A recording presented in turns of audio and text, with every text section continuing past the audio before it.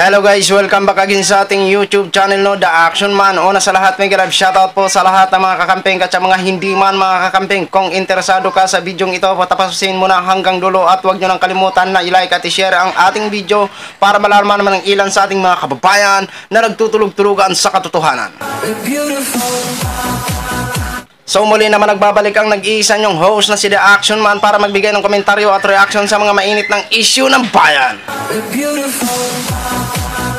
So ito ha mga ka-action, may gusto lang ho ako na i-share sa inyo about po ito sa naging quote card o pahayag ni Mr. Senador Robin Padilla no, na alias uh, Boy Zele. Oo. Ayan po yung nakikita nyo po sa screen yan po ang naging pahayag niya dahil sa naging pahayag niya dahil sa kakulang sa kaalaman naging sentro ng kahihiyan. Oh. Totoo po yung sinasabi ko. Naging sentro ng kahihiyan at sentro ng katatawanan. Hindi ko alam kung inisip ba ito ni Mr. Senador Robin Padilla bago niya po uh, sinabi yan, ha? O kasi English ho yan. Hmm, English po yan, mga ka-action, di ba? So, ito ho, mga ka-action, ah... Uh, yung nakikita nyo po sa screen, babasahin na po natin para hindi na ho tayo magtagal.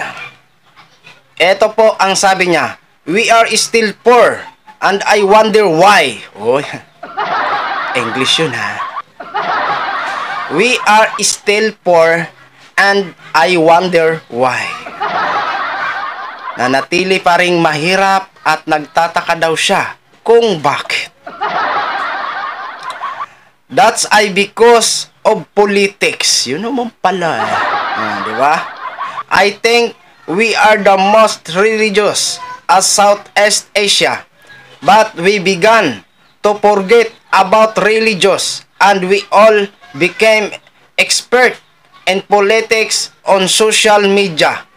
Everybody is a genius. Everybody has a comment. Is all politics in this country.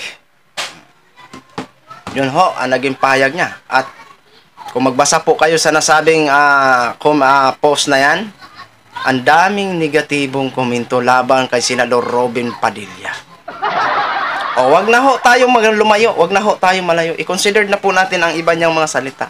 Dito po tayo mag-focus sa sinasabi niyang still for. And I wonder why. Because of politics. Simulan mo kaya pag ano, simulan mo kaya pag tanong sa sarili mo Mr. Senador kung bakit nanatili pa ring mahirap ang bansa natin. Sige nga po. Dahil po yan sa mga kakulangan o walang suporta ng mga senador sa mga magagandang programa. Katulad mo. Nakita ba namin na lahat ng magagandang plano ng mga katrabaho mo ay sinusuportahan mo? Eh, mas suportado mo pa nga ho ang China eh. Di ba? Mas ipinagtatanggol mo pa nga yung ibang bansa kaysa sarili mong bansa. Ni hindi ka na ho nahiya sa sarili mo kung sino nagpapaswildo sa'yo. Di ba kami? Kami na mga ordinaryong maliliit ang nagpapaswildo sa'yo. Tapos ito lang ang marinig namin o makita sa'yo. Na mas dapat mo kampihan ang China kaysa sarili mong bansang sinilangan at dito ka kumikita ngayon dahil sa pagiging senador mo? O kumikita ka dahil may sweldo ka. Di ba? O idagdag ha po natin pa yung ano, yung ilan yung siyam na senador na nag-approve ng gusto ibalik ang confidential fund at Intel fund. Oh, di ba?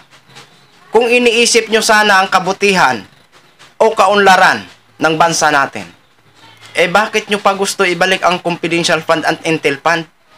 Eh kung tutusin, kung isipin nyo ho ng mabuti, nagkanda palpak-palpak na nga at hindi na nga kaya ipaliwanag ni Vice President kung nasaan yung nasabing 125 million, gugustuhin nyo pa na ibalik? Isa pa to si Senador uh, Lito Lapid. Ilang dekada na walang kontrobersyal sa kanya, ngayon lang ho siya magkakaroon ng uh, ano, pagbabash sa kanya. Hmm. Kung nanahimik ka na lang sana, Senador Lito Lapid, edi sana, absuelto ka. Oh. Isa ka pa. Kasi kung mahal mo yung bansa mo, marunong ka sana mag-isip. Hindi yung sinang-ayunan nyo pa. Pero titingnan ho natin, hindi pa tapos ang laban. Kung masabi ba, kung ma-approve ba ang nasabing gusto ng nine na senador. Tapos ikaw, Mr. Senador Robin Padilla, tatanong-tanong ka at nagtataka ka pa kung bakit. Eh, mismo sarili mo, tanungin mo. Tanungin mo muna sarili mo kung may naitulong ka na ba, kung marami ka na bang nagawa para ikakasaya ng iyong mga kababayan. No? Hindi yung magpara-wakal-wakal ka dyan. O, dahil sa pagwawakal-wakal mo, akala mo sisikat ka? Sisikat ka dahil sa pagbabasayo at di makatulog sa pagbabasayo at di makatulog sa pagtawanan sa'yo yung mga taong bayan. Kaya kung ako sa'yo, gumawa ka muna ng maganda na ikakatuwa ng kapwa mo Pilipino. Hmm. Ha? Kasi yung katanungan mo na yan, iswak na swak sa iyong trabaho. Hmm. Wala ka pang napatunayan, Mr. Senador Robin Padilla. Yan ang lagi mong tandaan. Di ba? At hinding hindi ho kami hihinto sa kadadakdak dito. Hanggat may mga bulok na mga klaseng opisyal, hindi kami hihinto sa kadadakdak. Dahil masasayang lang ang pera na sinisweldo sa inyo. Na hindi kayo nagtatrabaho ng tama at hindi nyo man lang kaya ipagtanggol ang sarili nyong bansa. Yan ang isipin mo, Mr. Senador Robin Padilla. Hindi po ito lahat ng magagawa mo dyan ay pwedeng scripted. Wala ka na po sa ano, hindi po yan pelikula. Isang seryosong trabaho mo po yan. Hindi po yan pelikula na scripted ang lahat. Lahat na bibitawan mo dyan na salita at lahat na pagkakamali mo dyan, Mr. Senador. Talagang putaktihin ka, butatain ka ng taong bayan kapag hindi magustuhan ang magiging asal mo. Ha? Kaya kung may dapat man sisihin sa paghihirap ng bansang ito at maraming nagugutom na mga Pilipino, walang iba kung hindi kayo dyan. Kayo sana ang inaasahan namin na magkaisa ho kayo dyan. Pero anong pinaggagawa nyo dyan sa Senado? Kanya-kanya ho kayong bangayan. This is the first time na administrasyon na wala nang ginawa kung hindi puro bangayan. Di ba? Hindi ba kayo pwedeng magkaisa dyan? Kalimutan nyo na nagka, nagkataon na naglaban-laban kayo nung uh, kasagsagan ng campaign? Total, nakapang-upo na ho kayo eh. Magkaisa kaya kayo dyan para naman maganda tingnan. Magkaisa kayo sa mga planong magaganda, konkretong plano. Di ba? Hindi yung puro kangal-ngal ng ngal-ngal, eh wala ka naman sa tono.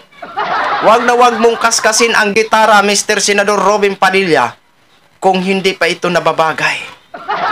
Oo, dahil bawat putak ng bibig mo, nakabantay ang taong bayan. Yan lang ho, mga ka-action, mga kakampeng. Ginshare ko lang ho sa inyo. Maraming maraming salamat po sa lahat nating mga viewers, Luzon, Visayas at Mindanao all over the world. Ako po, ang inyong lingkod si The Action Man. Good evening, everyone.